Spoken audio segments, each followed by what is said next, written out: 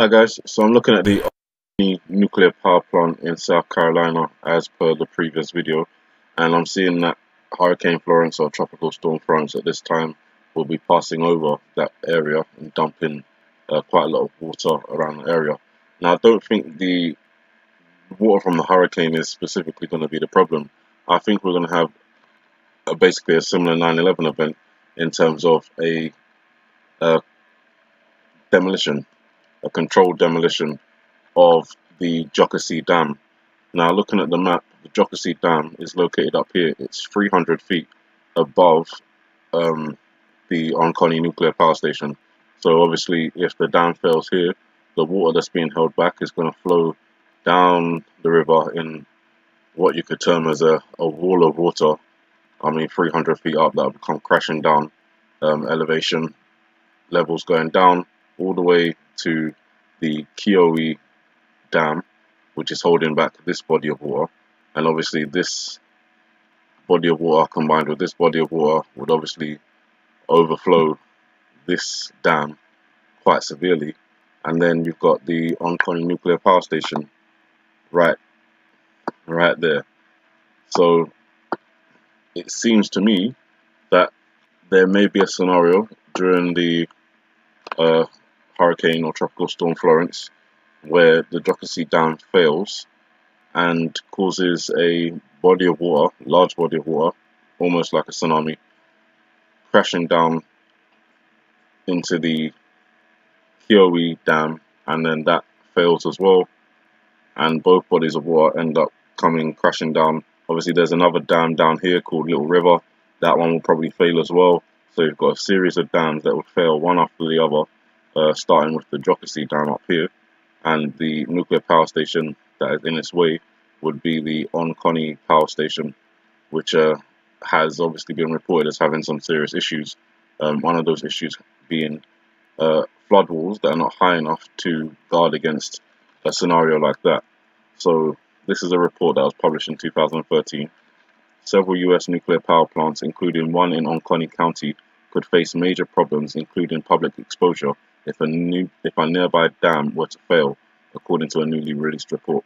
The Public Employees for Environmental Responsibility released documents Monday that it had received from the Nuclear Regulatory Commission, including a July 2011 report on flooding at power plant sites after upstream dam failures. The report looked at 32 reactors at 20 sites across the country and found the flooding danger largely ignored by federal regulators.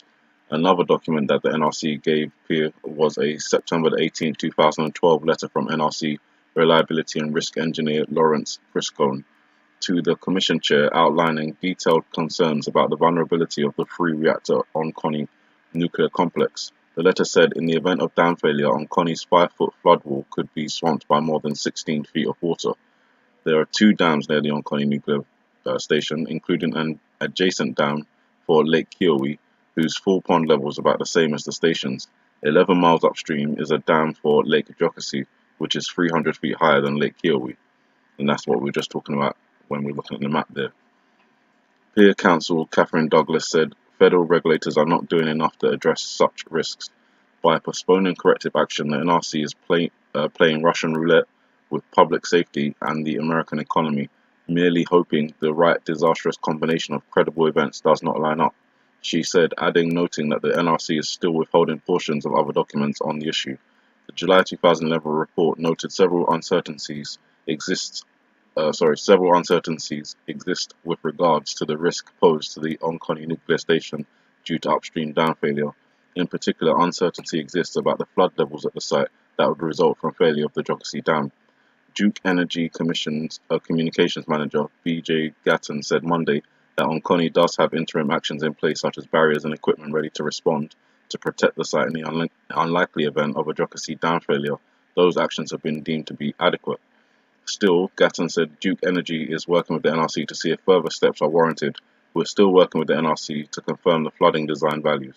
She said, we're not just waiting around. So bear in mind that even though they're saying that they, the people that run the site, deem the protections to be adequate, that doesn't include increasing the flood walls, uh, the height of the flood walls.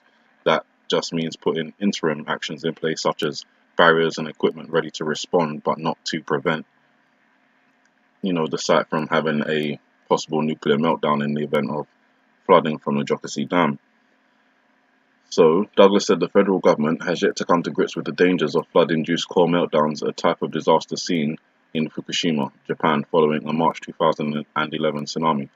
This past week, Colorado experienced the combination of flooding, dam washouts, and record rainfall, which, if upstream of a reactor, could produce cataclysmic consequences. The report also mentioned the H.B. Robinson nuclear site in Hartsville, but not South Carolina's other nuclear site, the Virgil C. Summer Nuclear Generating Station in Jenkinsville. Other southern nuclear sites included in the report were those in Athens. Well, I'll just let you read these on screen. So these are the other sites where the report noted some concerns in regards to nuclear power safety, or at least the, the safety of the sites.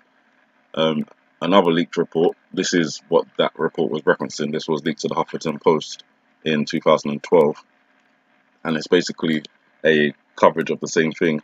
Um, it gives a little bit more information. For example, if there was a uh, nuclear meltdown at the Oconee nuclear power site, um, it, it, would probably take around 10 hours for that to happen. So, looking around the time where Florence is kind of affecting Jocassee, that's kind of like on the 16th. That'll be throughout the day. This is uh, GMT time, so 1 o'clock in the afternoon.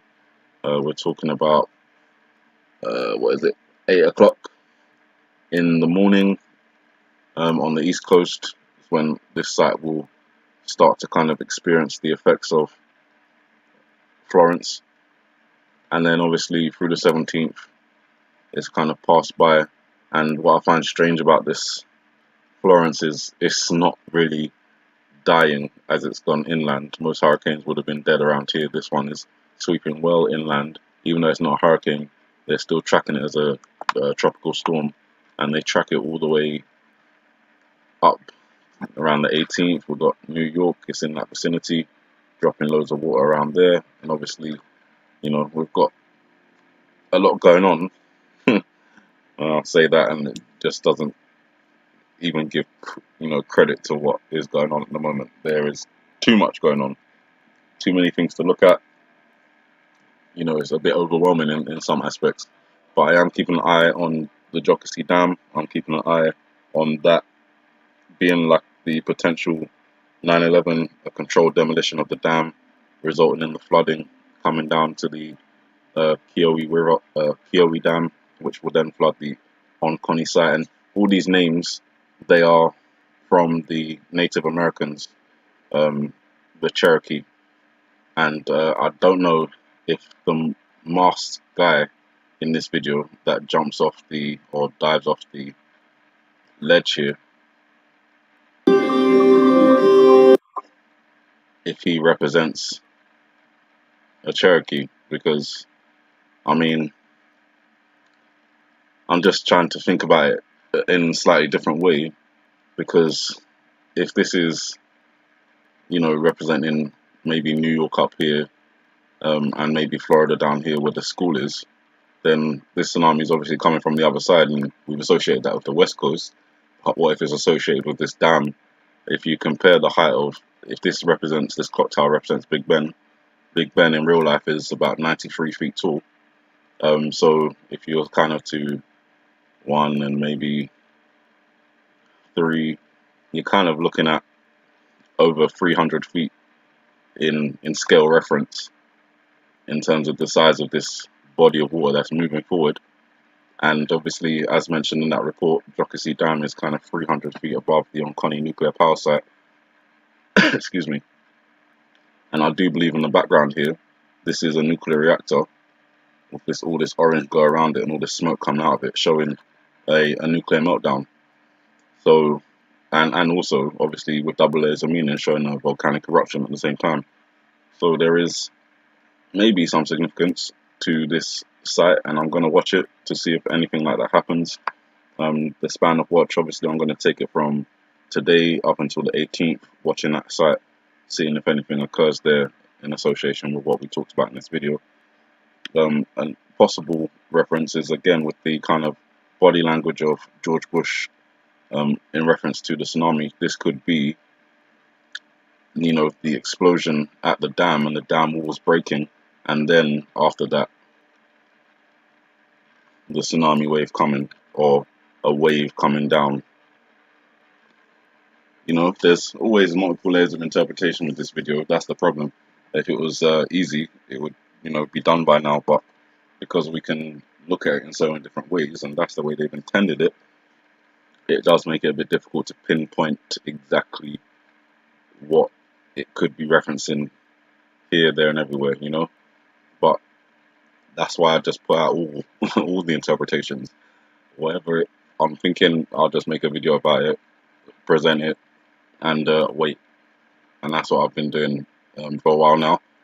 So another site to watch wasn't on my original radar, but in the last couple of days, with all these reports about the nuclear power plants being in the path of Hurricane Florence, um, and then the focus on the Brunswick nuclear power plant, then I've kind of been led to the Oconee nuclear power plant, realizing the Jocassee Dam could pose a potential flood risk if the dam fails, and then realizing that reports about it were published in 2013 and 2012 um, and haven't really been talked about since.